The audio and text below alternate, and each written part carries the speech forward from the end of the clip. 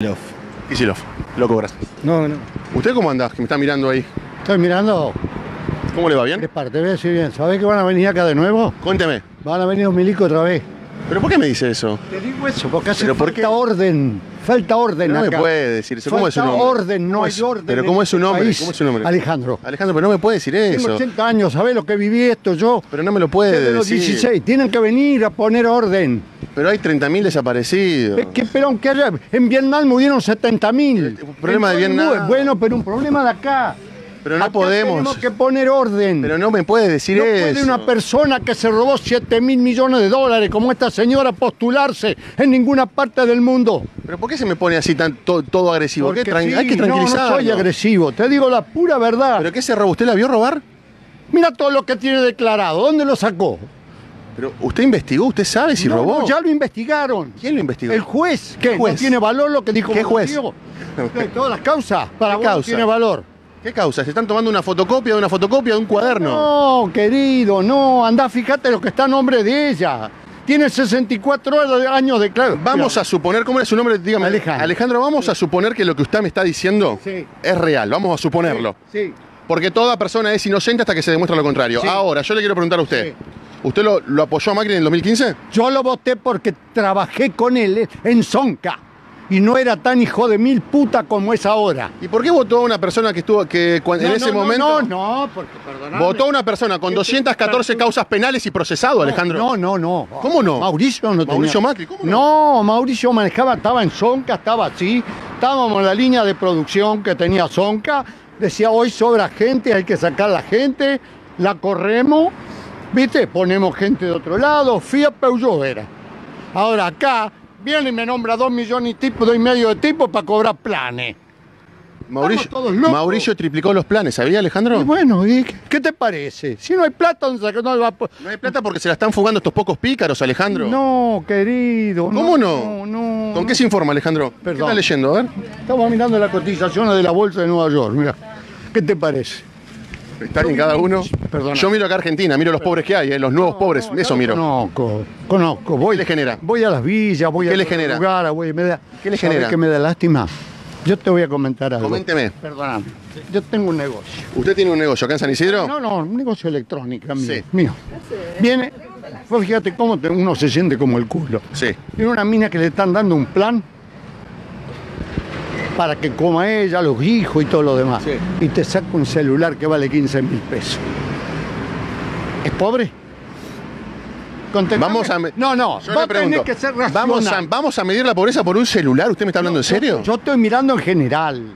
Pero te estoy mirando eso, te miro el otro, mira los cartoneros, mira a la gente buscando basura en los tachos. ¿Cuánto hace que no se veía eso? Sí, pero lo votaron a Macri. No sé, yo lo voté a Macri ¿Cómo también. se siente? Como el culo. Si lo pudiera envenenar, lo enveneno mañana. Pero, a ver, yo quiero, yo quiero entender, Alejandro, yo quiero entender que usted lo de los militares me lo dijo en joda. ¿Me entiendes? No, no, yo lo siento así. Porque cuando estaba en Ganía, si nos parábamos tres acá en la esquina, venía el camión y paraba. A ver, ¿me da su documento? ¿Dónde trabaja usted? ¿Qué hace? ¿Quién es? Vos no lo viviste porque no había nacido. Es una locura. Es una locura. Entonces, ¿cómo va a venir un tipo que vos estás parado acá? Dice, dame toda la guita, viene el vigilante y lo acompaña al tipo y se va con él. Déjame joder. Bueno, venga, Alejandro, que le hago la última pregunta. Este año hay elecciones en la República Argentina. Por ahora no me pregunté quién voto, por un motivo. ¿Por qué?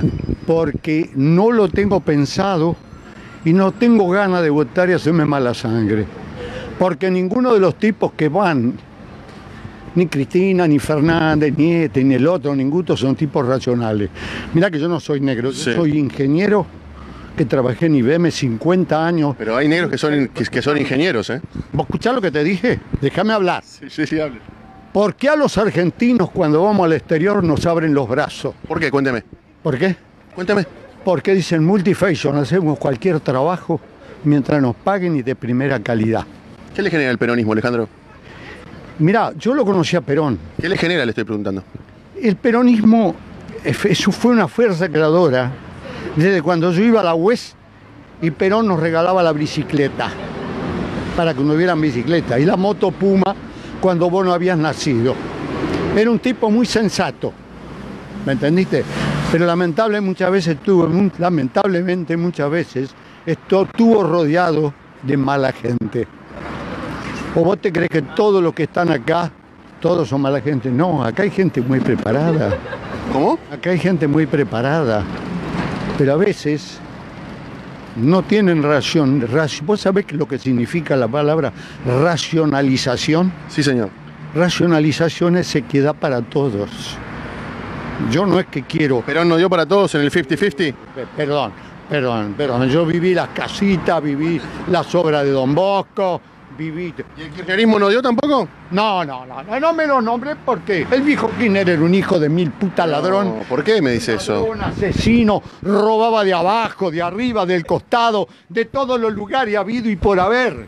¿Pero por qué me Y dice la mujer es más ladrona que él, y el hijo, ese boludo que tiene, que le lo sabe hacer lado con el culo el vaso, lo van a hacer diputado. Déjame de joder, hombre. Vos tenés teléfono, puede ser publicado, deja. Alejandro, gracias. Perdóname, Gracias. disculpa.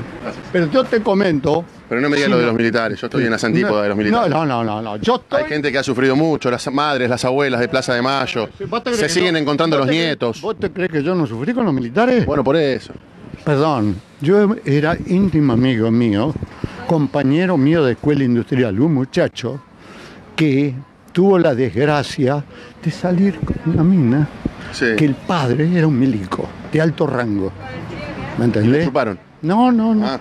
Y él con la mina se hizo, se pasó al grupo de los montos. ¿Me entendés? Sí. ¿Me entendés? Te voy a decir en el oído el nombre. ¿Me escuchaste? Sí, sí, claro, claro. Y se, y se pasó al, al grupo y ¿qué pasó? Y si eso guerrillero. Yo en esa época me hubiese puesto la, la casaca de los montos en esa época, ¿eh? Bueno, Guarda, te, estoy, te estoy comentando a vos Sí. que es muy difícil las comparaciones de uno y de otro. ¿Me entendés? En todas las épocas jodido. Ahora en Estados Unidos, yo viví en 15 países distintos por el laburo mío en la fábrica. Claro, Alejandro, ¿Me pero- entendés? sí, Entonces, sí. ahora vos ves acá cosas que son inadmisibles. Por ejemplo, Yo te voy a dar un ejemplo. un ejemplo deme, por favor. ¿Por qué? Porque acá todos los argentinos, vos, él, Sí. yo y todo lo demás, defendemos nuestro patrimonio desde que nacimos con el dólar. Pero Contéstame la pregunta. A mí me chupa un huevo el dólar. Bueno, a vos sí. Pero si vos tuvieras que comprar una casa, ¿en qué tenés que comprarla? ¿En peso? Yo la compraría en pesos porque es la moneda de mi país. Sí. Pero no, no está valorado. No- Bueno, está todo dolarizado. Fernández Fernández o Macri Pichetto, ¿qué hace? No, no, no, no, no te voy a contestar. No, no. Dale, gracias. Gracias a vos. Por eso, pero acordate lo que yo te dije. Sí, pero no me digas lo de los milicos, gracias. Te digo algo. ¿Qué? Para que no te olvides. si querés. Sí. Y pasaban cosas peores. Perdón. Sí. Perdón. No había tanta pobreza. Era no otra época. tanta miseria. Era otra época, era otra época. Era otra época. Gracias, Ale. Gracias. Muy bien, seguimos. Seguimos. ¿Dónde estamos en San Isidro? Más madera, más madera. Las cosas que hay que escuchar en la República Argentina, ¿eh?